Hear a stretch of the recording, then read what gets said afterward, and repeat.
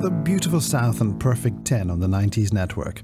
Now, a moment ago, I asked you to name the movie that The Hot Stepper by Ini Kamoze was the title track. Did you get it? Well, the answer is Pret-a-Porter, Ready to Wear. For a bonus point, I asked you to tell me when it was released, which was Christmas Day, 1994. And for a super bonus point, I asked you to tell me what Irish actress starred in it and he is Stephen Rea, playing a rather creepy fashion photographer. From movies to West End musicals now, and Jason Donovan, who did a long run as Joseph in Joseph and the amazing Technicolor Dreamcoat in 1992, and released this from the show. Are you ready to sing along? This is Any Dream Will Do.